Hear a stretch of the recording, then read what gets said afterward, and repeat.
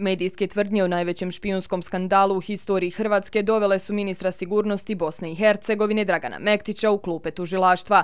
Aferu koja je potresla regiju komentarisao je u svom već poznatom stilu.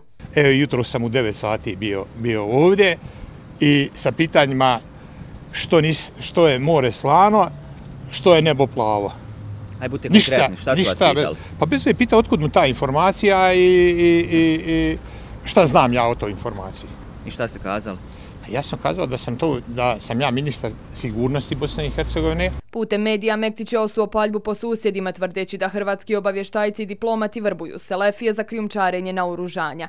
A kako bi dokazali da je Bosna i Hercegovina leglo radikalizma, Mektić je naveo da se diskutovalo i o generalnom konzulu Hrvatske u Tuzli Ivanu Bandiću, kao i o novinaru Mati Đakoviću koji je vozio automobil diplomatskih tablica koje pripadaju Hrvatskom konzulatu, u kojem je, kako se navodi, prevozio oružje. Ja sam rekao da imam informacije pa, ovaj, i da imam da sam vidio određene fotografije e, gdje unazad nekoliko mjeseci e, Mato Đaković vozi to vozilo, ali on kaže on je to vozilo uzeo od, od Ivana Bandića i tako dalje. Kažem, jeste uzeo i juče prepisao kad je provaljeno sve to, on je juče otišao i prepisao, skinuo ove tablice i, i, i diplomatske i stavio ove. Zbog čega je njihov interes da mi budemo tako ne znam, to trebate pitati e, Kolindu Grabarović, e, ka, zašto izjavila da ima 10.000 terorista? Zašto izjavila da ima i teroristički kampon? Otkud zna, znam šta je nju motivisano.